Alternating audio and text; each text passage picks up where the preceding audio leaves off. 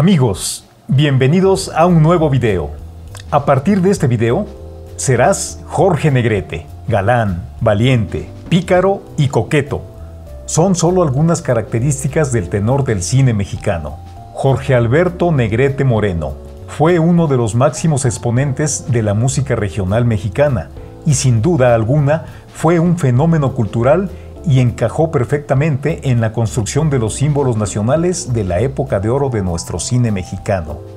Inicios. Su nombre completo fue Jorge Alberto Negrete Moreno. Nació en Guanajuato en 1911.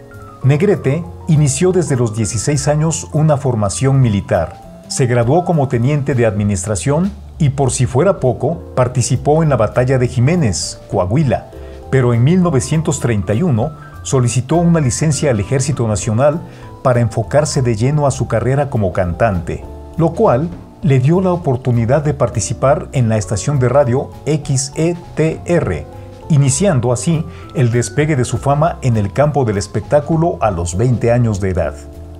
Amor y odio. En 1938, el tenor de México visitó la ciudad de Guadalajara para adentrarse en un papel que interpretaría, pero el seductor del cine mexicano quedó cautivado por María Félix. Negrete platicaba con sus amigos cuando frente a ellos pasó la doña. Al verla, el cantante no paró de preguntar, ¿quién es? ¿Cómo se llama? Quiero que me la presenten cuanto antes. La afamada actriz no dudó en rechazarle, ya que se encontraba casada y no soportaba la galantería de Negrete. Fue hasta 10 años después que lograron superar sus diferencias y decidieron casarse. Respeto y admiración. No existía rivalidad entre Jorge y Pedro. Aunque se decía mucho de su enemistad, ninguno de esos rumores eran ciertos. Lo que sí era un hecho es que se estimaban mucho tanto que Pedro Infante le homenajeó en vida con un corrido hecho especialmente para él. El corrido se le dio el mismo nombre del cantante, Jorge Negrete.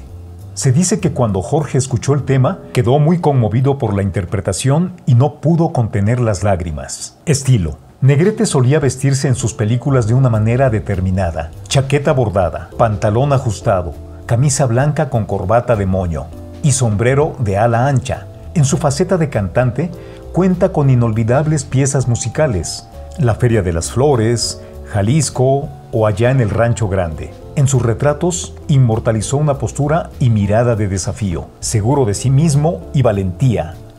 ¿Por qué el charro cantor? Se originó por su participación en la comedia ranchera, interpretando a un hombre valiente, adinerado y exitoso con las mujeres. Puesto que su personalidad era muy parecida al personaje, decidió quedarse con el apodo, su vida amorosa se relacionó con mujeres del mismo medio, Elisa Christie, Gloria Marín, hasta que en su tercer matrimonio con María Félix logró un matrimonio estable.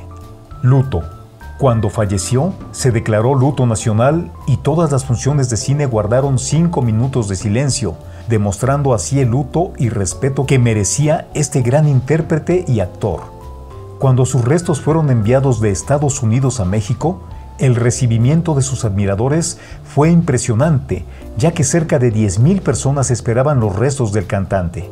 Se especula que cerca de 500.000 personas acompañaron a Jorge Negrete durante su trayecto al Panteón.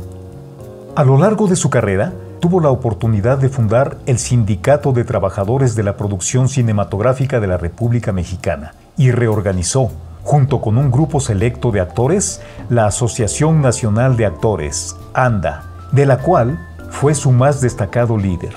Así fue como se ganó el corazón de México y de toda América Latina. Sin duda, uno de los mejores hombres que ha dado este país. Amigos, gracias por ver este video. Compártanlo con sus amigos. Síguenos en nuestras redes sociales. Hasta la próxima.